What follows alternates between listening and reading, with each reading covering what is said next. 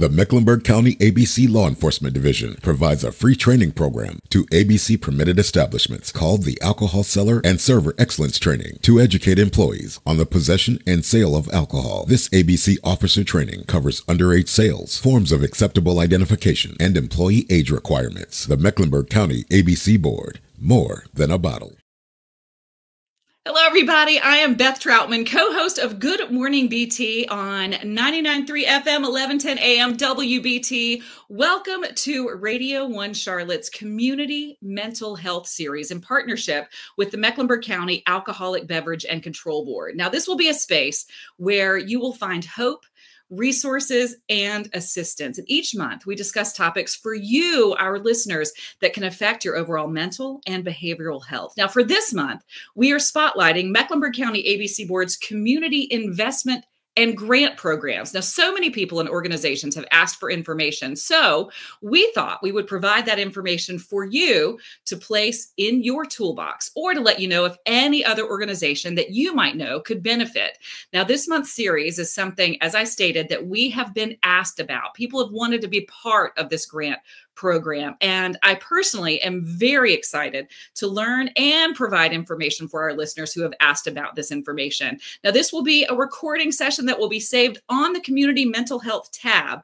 This is on all of our Radio One Station websites. And joining me today to provide all of the information surrounding the ABC grant program is Ms. Kayla Hickman, Community Investment Program Director for Mecklenburg County ABC Board. She is the person who has all of the information that you need right now. Welcome, Kayla. Thank you so much for joining me. Hey, Beth. Thank you for having me. It's my pleasure.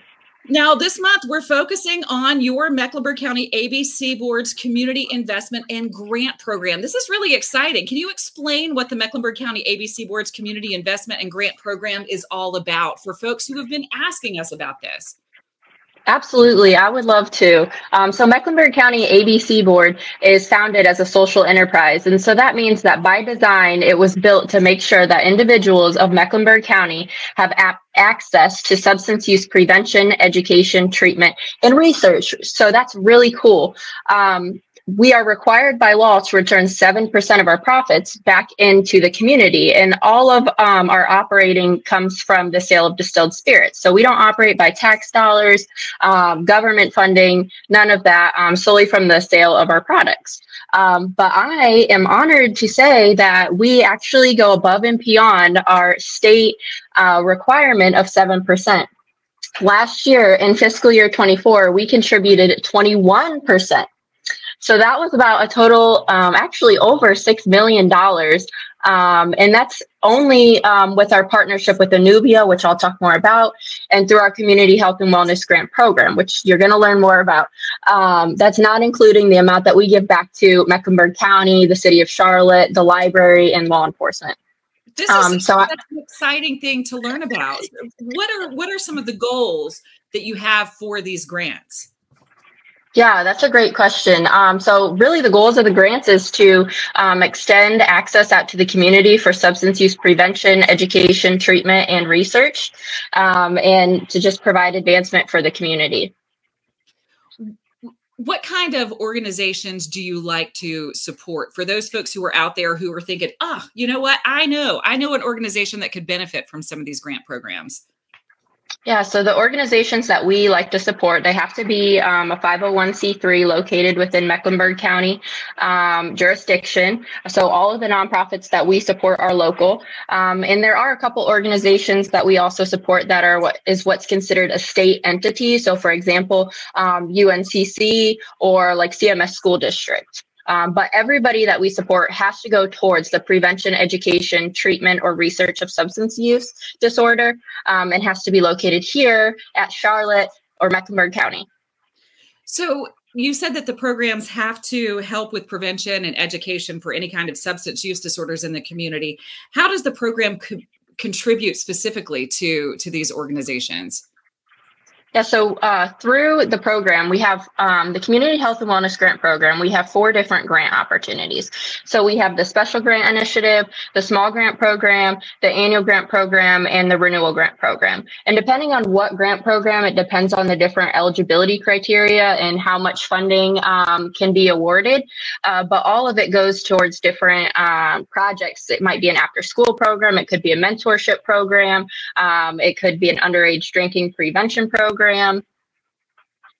You just touched on this, the, the kind of programs that are eligible. What is the process like? What is the application process for people who are listening who think, okay, I, I work with one of these organizations, I'm part of one of these organizations. How do they how do they apply? What is the what is this process?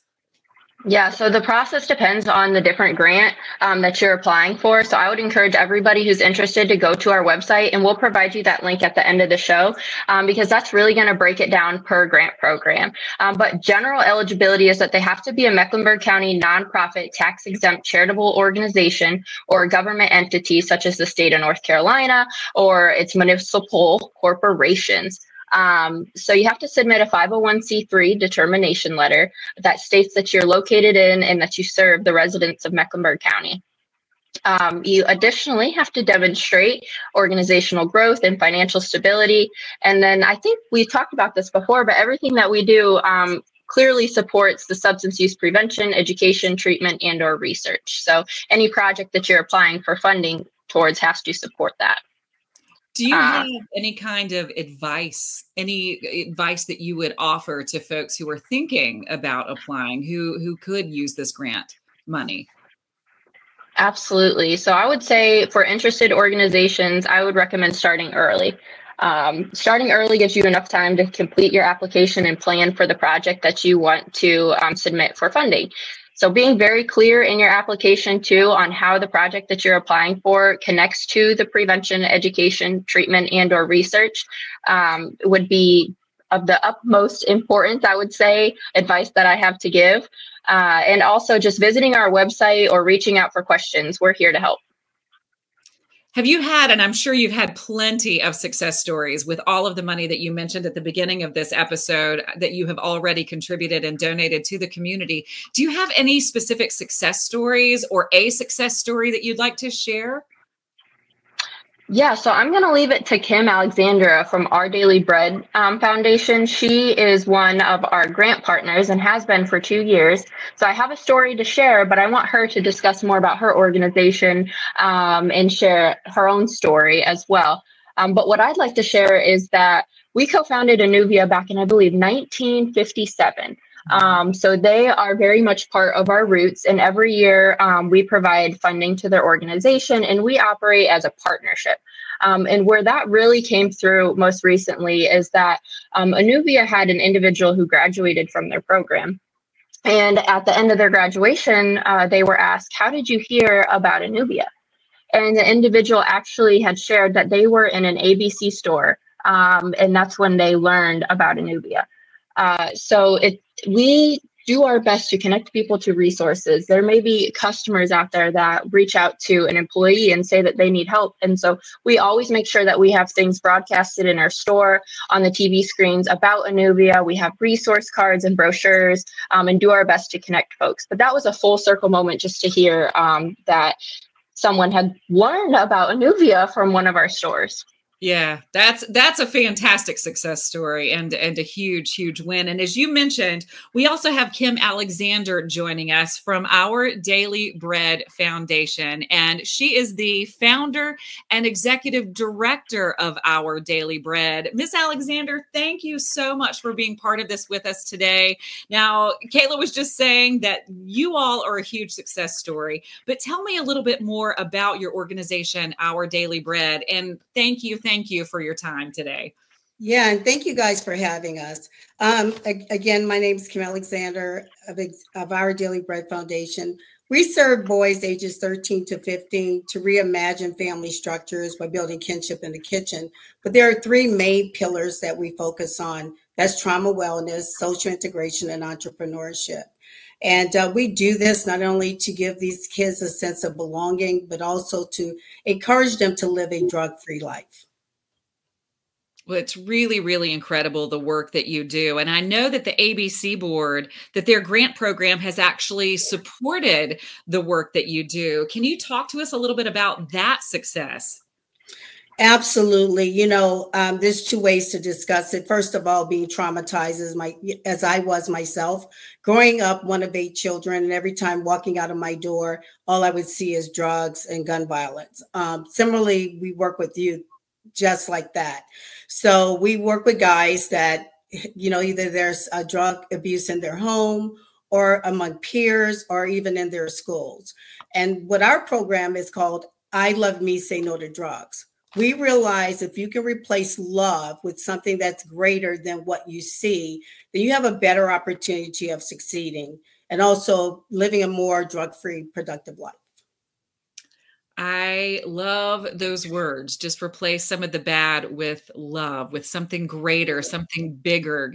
Can you talk about maybe some of the the individual success stories, the families that that you have helped, the the work that you've seen have a positive impact on the community? Absolutely. So imagine a youth coming in with their head down, not knowing what they want to do. And through journaling and photojournalism, we allow them to have a space where, space where they can hear their own voice. And what that looks like in the family is that they come in, they may be traumatized by someone in their family that's doing substance abuse. We've uh, seen Brian, for example, come in, his mom was on drugs, and he had no way to express himself or how to deal or have life life coping skills and how to address that. So through journaling, he was not only given a safe space to tell his story, but mm-hmm. also was able to discuss it in a group that was very safe for him to engage other peers that had similar stories. So it was very impactful to do that. And on the other side of it, we have given them cameras. I love me, say no to drugs. I am more than meets the eye. So now I know who I am. Now I know where I want to go. So, how do I see myself through my own lens? Going back to my neighborhood, looking at the neighborhood in different lens, taking it to my schools, you know, finding myself in a space of what I want it to look like rather than what it actually looks like. So we're very grateful to the ABC board for that because it allows ourselves or our daily bread to use our immersive learning in a way that's not traditional. Uh, with the resources that they've given us, the education and dr- drug prevention, providing materials that we need that can pass out to other kids. We've seen our kids firsthand become mentors and leaders as, as a result of our of ABC board grant, small grant process.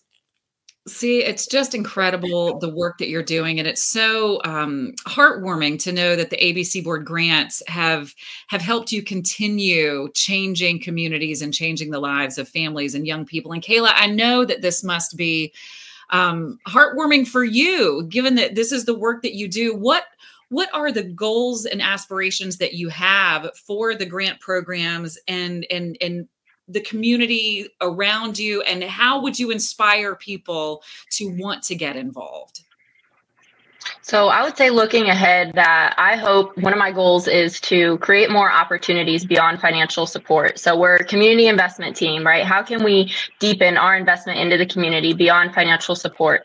Uh, that's one of my goals. Um, really just adapting to the needs of the community and hearing from what they need um, to inform where we might go in the future with our dollars and ensuring that no one is left behind about substance abuse. I think it's all about meeting people where they are in the community. Um, so that that's a little snippet of the future.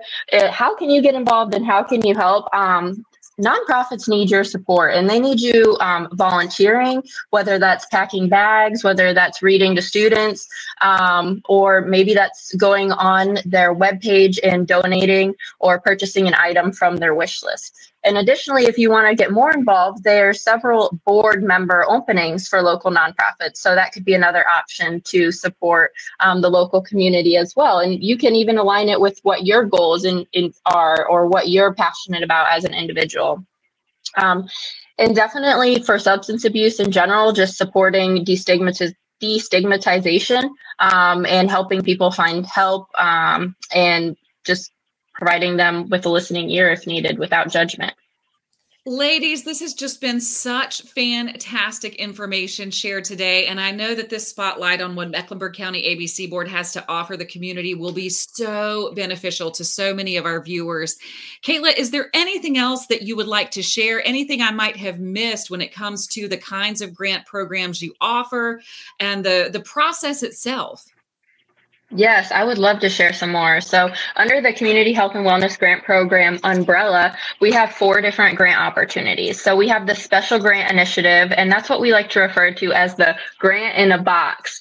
Um, and the Special Grant Initiative is for a one year project period, um, and it's up to $25,000, and it's for an organization to implement the Too Good for Drugs um, curriculum, which is funded by the Mendez Foundation. It's an evidence based program um, and it's designed to mitigate the risk factors and enhance protective factors related to alcohol, tobacco, and other drug use. Um, so the focus is for um, K through five population with this grant, and it will be, it's unfortunately closed, um, but to spread awareness that it exists and that it's one of our grant programs, I wanted to bring that to attention. Um, then we have the small grant program, which is for organizations who have less than a $350,000 operating budget. Um, and the small grant program is for up to $25,000, and that can be for the prevention or education of substance use disorder, any projects related to that. And that process to apply is actually open right now. Um, so our letter of intent is the first step to apply. So that will be open from November 15th to December 13th. So if you're able or interested, submit your letter of intent. You can go to our website to do that um, and give it a shot. Then we review the letter of intent. Our team of evaluators make a decision, and you may or may not be invited um, to apply for the full application then. And then uh, that's two special grant, small grant program. And then we have the annual grant program. Um, and that's for a one year project period for organizations that have over a $350,000 operating budget, um, up to $75,000 that can be towards focus on prevention of education, treatment, uh, research, or education. And that letter of intent is coming up. So if you're interested in applying and you're um, a larger organization, you can submit your letter of intent of intent by uh, December 20th. It'll be open from December 2nd to December 20th of 2024. And last but not least, we have our renewal grant program, um, which is by invitation only. It's considered step down funding. So if you are a past grant partner of our annual grant program, um, then your next step would be going into the renewal grant program. Um, so if you're interested in receiving funding from the ABC board, your best bet is to either start with the small grant program, the special grant initiative, or the annual grant program depending on um, the operating size of your organization and what most aligns with you. And I know I'm talking a lot here, but there's just so much to know and so much great information to get out there. Um, but lastly, I would like to just highlight that this year we're working with 68 different projects um, that support substance use disorder, whether that's prevention, education, treatment, or research. 68 projects, that's a lot. Um, so that's over 60 nonprofit organizations here in Mecklenburg County um, that we're supporting. And over 20 of them are smaller organizations, just like Our Daily Bread Foundation um, is an example. Wow, Kayla, I feel like this this episode could have been like two hours long. You are such a wealth of information. You can tell, obviously, that you are very passionate about what you do, and you are, of course, just to remind people, Kayla Hickman, the Community Investment Program Director for Mecklenburg County ABC Board, and Kim Alexander. Thank you so much for joining us, too, the founder and executive director of Our Daily Bread, which you just heard Kayla talking about. And I hope that you all out there take advantage of the resources and the information information that these ladies shared today. Now, if you or if you know of an organization, if you have an organization or know of an organization that could benefit from the services provided by Mecklenburg County ABC Board's Community Investment and Grant Program, and you want more information on how to apply, here's what you do visit meckabc.com and then look under the tab for community outreach. Click on ABC Grant Programs and that's it. It's that simple. Or if you know someone who could benefit from the services provided by the organization we talked about today, Our Daily Bread. Visit ourdailybreadfoundation.org. And a special thank you again to the Mecklenburg County ABC Board for making all of this possible today and providing the community the means and resources for organizations such as Our Daily Bread to thrive. Thank you all for being a part of this special, special day and for all of this uh, really incredible information that could really change lives. Thank you so much, thank Beth. You. And thank you so much, Kim. It's an honor to be thank able to you. partner with you. Absolutely. Same here.